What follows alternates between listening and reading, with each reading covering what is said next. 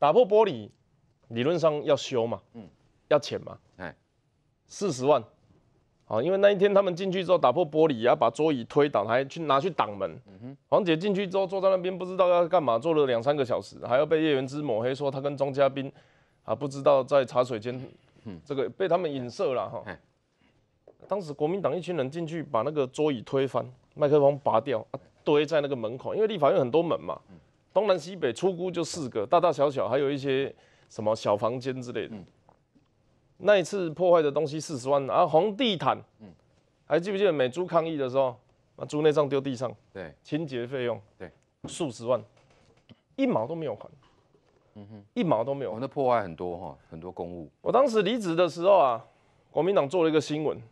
因为我们的薪水是先发，我做到十月二十八号，叫我还三天的薪水。嗯，我走过去开一个记者会，说好，我还这三天，我还你。嗯，我还立法院。哎，国民党到今天一块钱都没有还。哦还记不记得之前有一个双重国籍案，也是国民党的立委，做到一半不知道干嘛不见了。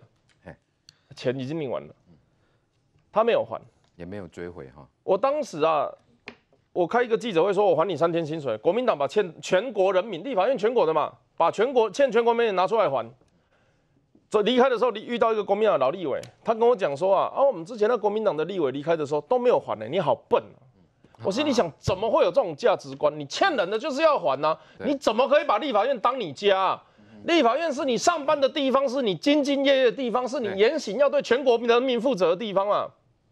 陈玉珍不会啊，陈玉珍觉得那里是休闲会馆啊，嗯，那是娱乐场所，所以他放放 SPA，找找按摩师。啊，然后去到这个开会的时候，抓抓黄杰，抓抓吴佩义，找找乐子，所以大家对那个地方定义不一样嘛。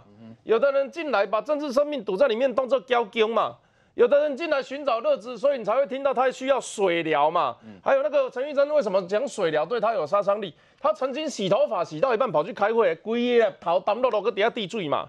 这个都是历史看得到的嘛。所以虽然立法院呐有很多的功能。它也影响全国百工百业立法的标准。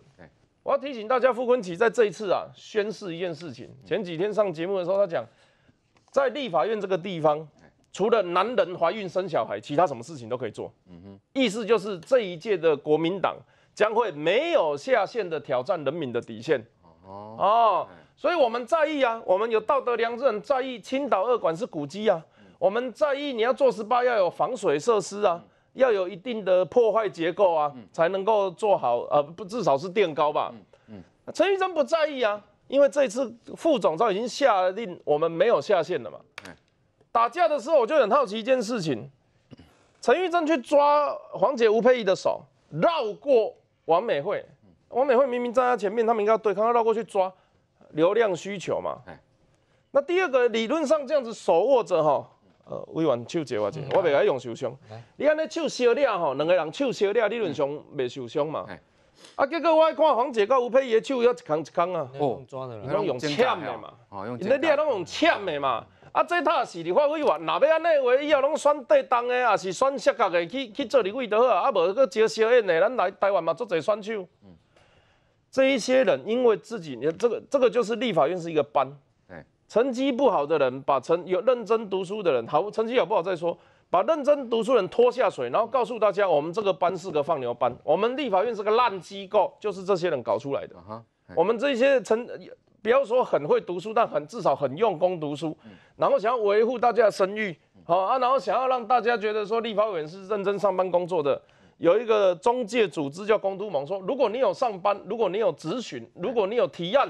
我们会跟你说你是优良的立委，那国民党怎么回应这个这个这个联盟吗？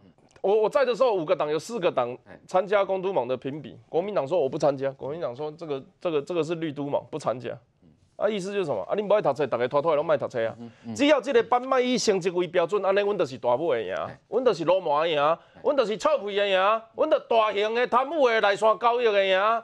他们现在就是在干这种事情，所有国民党的都是共犯，立委的素质一届不如一届。今天去动罢免门槛的人，就是怕死、怕输、怕没有立委当。昨天的冲突就是国民党意图因制造这个气氛让人家觉得民进党只是在搞破坏，但实际上是民进党去占领主席台，是为了让社会多一天甚至多两天的时间，让大家讨论修选罢法门槛、增加联署难度到底有没有道理。他们一做这个动作，昨天有两个人，一个叫陈柏伟本人，一个叫黄伟汉发言说陈柏伟的罢免是这个陈柏伟罢免，你们就说是民主的胜利啊，现在就自己要动联署门槛是，对，这就是怕死、怕输、怕没有立委当的民意代表。当然。